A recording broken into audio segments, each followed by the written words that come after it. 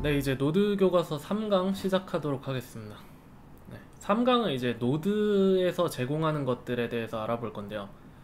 먼저 어, 3강 이제 듣기 전에 2강을 잘 복습하고 오셔야 돼요. 2강. 2강에서 제가 자바스크립트 실행 원리, 엔진 같은 거 어떻게 돌아가는지, 코드가 어떤 순서로 돌아가는지, 그리고 문법 같은 것도 살짝 알려드렸잖아요. 그래서 2강을 좀 충분하게 복습을 하셔야 이제 앞으로 노드 실행할 때 원활하게 하실 수 있습니다. 그래서 이제 본격적으로 자바스크립트 파일을 실행을 해볼 건데요. 여기 REPL 사용하기라고 있, 있거든요. REPL은 이제 read, evaluate, print, loop 이 네 개를 예, 합쳐서 일컫는 말인데 먼저 읽고 평가하고 출력하고 반복한다는 거거든요. 저희가 자바스크립트 코드를 JS 파일에다가 쓰면 그 파일을 먼저 읽고 그 코드를 실행을 하고 결과를 출력해요. 그 다음에 다시 반복을 하거든요. 그래서 이거는 이제 CMD 명령 프롬프트나 맥이나 리눅스 쓰시면 터미널 있죠. 예, 터미널이라고 치시면 되고 리눅스는 그냥 그 자체로 터미널이죠. 이렇게 명령 프롬프트 여기 가셔서 노드가 정상적으로 설치되었다면 여기서 노드 하시면 이제 노드 버전 나오면서 이렇게 프롬프트로 바뀔 거예요. 화살표 모양의 프롬프트. 여기다가 이제 자바스크립트 코드를 치실 수가 있어요. 그러면 이렇게 제가 입력을 하면 hello node 얘를 read 해야 하고 그 다음에 evaluate 이 값이 뭔지 예, 이 제가 친 자바스크립트 코드가 뭔지 평가를 하고 그 다음에 결과물을 출력을 해주겠죠. 이렇게 하면 결과물은 undefined. 변수 선언에 대한 결과물은 undefined예요. 이렇게. str 변수에 대한 결과물은 hello world, hello node 이거고요. console log도 착각을 하시면 안 되는 게 console log에 대한 실행 결과물은 undefined입니다. 얘는 단순히 콘솔에다가 이 문자열을 표시하라는 거고 console log 자체의 리턴 값은 undefined예요. 예. 그래서 console log 하면 밑에 undefined가 뜨는 이유가 console log의 리턴 값이 undefined이기 때문이에요. 이 str 변수를 콘솔에다 찍는 거는 부가적인 일이고 그 console log 자체는 undefined를 리턴합니다. 그래서 뭐 이렇게 여기 노드 이렇게 쳤잖아요. 이거 이제 나가려면 컨트롤 C 두 번 누르면 되거든요. 여기 나오는 거 명령어 그대로 이렇게 exit 치셔도 되고 점 exit. 근데 이렇게 해서는 너무 불편하죠. 한 줄 한 줄 저희가 이렇게 여기다가 코딩하는 건 너무 불편하니까 이제 자바스크립트 파일을 만들어서 거기다가 코드를 쫙 적고 그거를 이제 한 방에 실행하는 예, 그런 식으로 가는 거죠. 그래서 이제 저희가 VS Code, Visual Visual Studio Code 이걸 한번 사용을 해볼 건데요. Visual Studio Code. 네, 이렇게 VS Code 키신 다음에 lecture 있죠? lecture에다가 제가 뭐 hello world JS 한번 만들어 볼게요. hello world JS.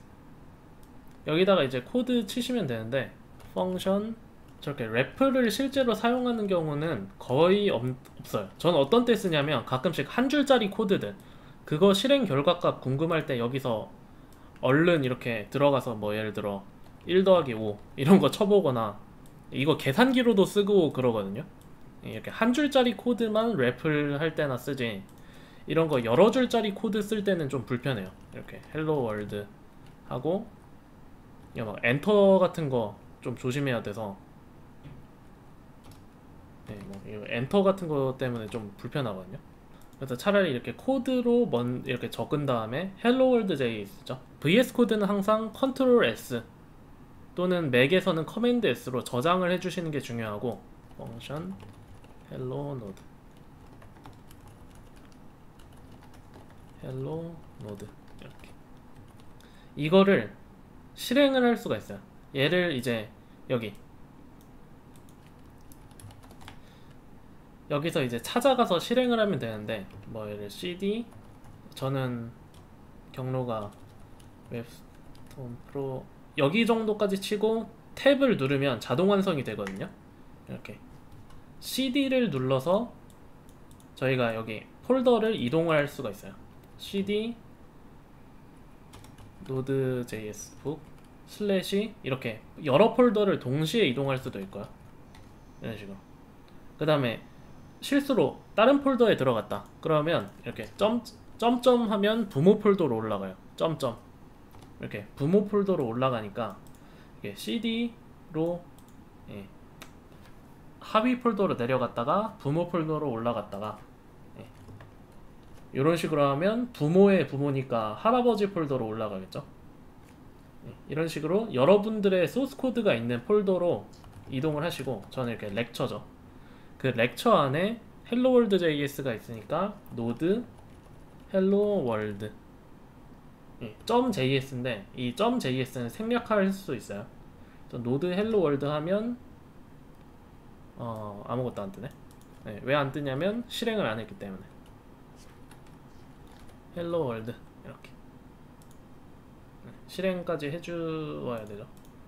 꼭 저장을 항상 해주시고 예, 그리고 한 번 쳤던 명령어는 이렇게 위로 올려갈 올라갈 수가 있거든요. 방향키로 한 번 쳤던 명령어들 이렇게 다시 불러올 수 있으니까 똑같은 명령어 또 키보드로 타이핑하지 마시고 방향키 위아래로 이렇게 불러오세요.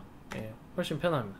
그럼 이제 hello world hello node node가 hello world.js를 실행해 주는 거죠. 제가 node는 자바스크립트 실행기라 그랬죠. 그래서 자바스크립트 코드를 그대로 실행을 해준 거예요. 그래서 이렇게 명령 프롬프트 사용해서 자바스크립트 코드를 실행할 수가 있습니다. 예, 물론 node를 사용한 거죠. 근데 이제 이게 좀, 어, 이 VS Code도 띄우고 명령 프롬프트까지 같이 띄우면 좀 불편하니까 이 VS Code 상에서 컨트롤 backtick, backtick 말씀드렸죠? 탭 위에 있는 거, 1 왼쪽에 있는 거, 컨트롤 backtick 누르면 이렇게 CMD 창이 나타나고 여기 폴더가 예, 지금 제가 코드가 있는 폴더인가요? 아니네요. 예, CD lecture까지 해줘야 되네요. 이렇게. 그리고 윈도우이신 분들은 어, 여기가 CMD로 되어 있을 텐데 아 CMD가 아니라 PowerShell로 되어 있을 텐데 PowerShell로 되어 있다면 여기 Select Default Shell 해서 예, CMD를 눌러주세요. CMD. 예, PowerShell 쓰시면 조금 어, 나중에 문제가 생길 수 있거든요. 그래서 PowerShell보다는 그냥 CMD가 나아요. 그래서 CMD 이렇게 하시고 여기다가 node hello world 이렇게 하시면 예, 하나의 화면에서 이렇게 코드도 치고 실행도 할 수 있으니까 편하죠. 이게 그 명령 프롬프트 띄운 거랑 똑같거든요. 그래서 이렇게 보시면 될 것 같아요. 코드도 치고 실행도 해보고.